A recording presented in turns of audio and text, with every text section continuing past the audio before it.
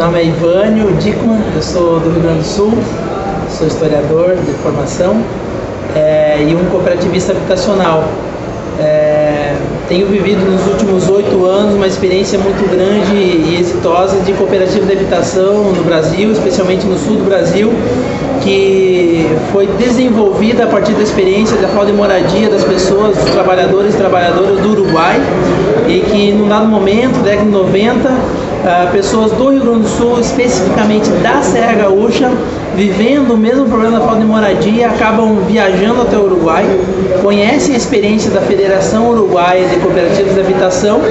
voltam para cá depois de quatro dias e iniciam um processo maravilhoso de organização dessas famílias em cooperativas de habitação, que ao longo dos últimos 20 anos tem colocado muitos e muitas pessoas é, dentro de casa através de um processo que consiste no seguinte: as pessoas se organizam num grupo, num coletivo, fazem economias mensais no período de dois, três, quatro anos. É, com essa economia, com essa poupança, se adquire um terreno então para essas famílias morarem, produzir suas moradias. E no segundo momento, então, busca-se o crédito habitacional existente, seja de política pública ou de bancos públicos, né? para construir as moradias a preço de custo, quer dizer, eliminando totalmente a operação lucrativa do acesso à moradia, quem está muito habituado a comprar a casa. Então as pessoas acabam produzindo a sua própria casa. Esse modelo foi muito exitoso, como eu disse, no Rio Grande do Sul até, até 2005, 2006 um grande banco público do Brasil, que é a Caixa Econômica Federal, premia as cooperativas por essa boa prática. É, e em 2010, no Fórum Social Mundial, nós debatíamos se essa experiência podia ser replicada para o resto do país, uma vez que tinha dado bons frutos no Rio Grande do Sul. É, a gente bate martelo e diz, bom, se é bom para as pessoas sem casa no Rio Grande do Sul, pode ser bom também para as pessoas sem casa em todo o Brasil.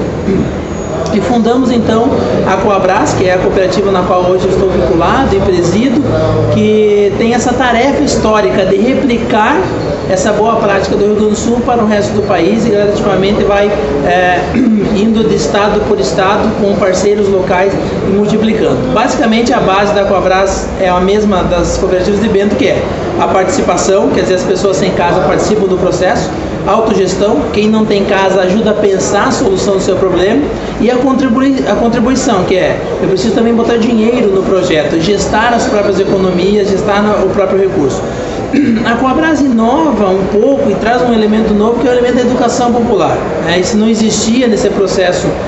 do Sul e agora então no processo nacional nós entendemos que as pessoas além de participar, além de ajudar na autogestão, além de contribuir, precisam também aprender e trocar e produzir conhecimento de como é que, por que, que eu não tenho casa, como eu posso chegar na minha casa, como é que eu conquisto, como é que eu me aproprio do espaço urbano, como é que eu me aproprio da casa produzida pela cooperativa, para que ela não seja uma mercadoria na minha mão, mas uma garantia de um direito que eu conquistei com o meu coletivo. Isso é um pouco a Coabras que vem replicando então esse modelo. Eu acredito que isso pode ser gradualmente reproduzido em outros espaços. Nós tivemos recentemente uma experiência muito interessante, chamamos um edital de, de textos ah, debatendo o problema da habitação popular e tivemos surpresa de, de mais de seis textos vindo de Portugal, Espanha, Argentina, é, Equador. Quer dizer, o problema da moradia não é um problema brasileiro. Então também quer dizer, a solução que o Brasil produziu a partir das suas bases populares também pode de repente ser a saída do aluguel, da casa emprestada, da casa cedida, da área ocupada ou invadida em outros cantos do mundo. E eu espero que a Coabras possa contribuir com isso do ponto de vista histórico ao longo de, dos próximos anos, de ser uma semente plantada aqui no Brasil que possa frutificar em vários cantos do mundo e que as pessoas possam acessar a casa através das cooperativas habitacionais autogestionárias que estão trabalhando no campo da economia solidária enquanto perspectiva política e enquanto visão de mundo.